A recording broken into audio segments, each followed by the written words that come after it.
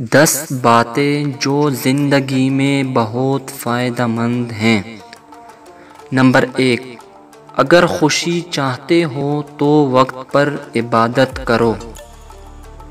Number दो, अगर चेहरे को रौनक बनाना चाहते हो तो तहजद नमाज़ पढ़ो। नंबर तीन, अगर सुकून चाहते हो तो कुरान मजीद पढ़ो। नंबर चार, अगर सेहत चाहते हो तो रोज़ा रखो।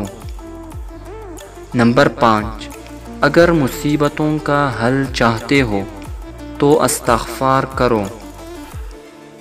नंबर छः, अगर बरकत चाहते हो तो दरूद शरीफ पढ़ो।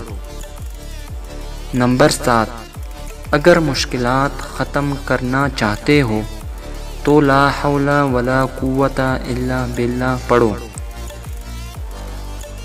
नंबर आठ, अगर गमों से निजात चाहते हो तो दुआ मांगो।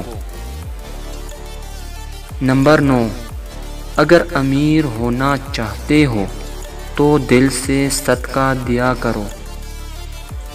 नंबर दस, अगर बग़ैर थकावट में नीकियाँ चाहते हो तो इस वीडियो को आगे शेयर करो।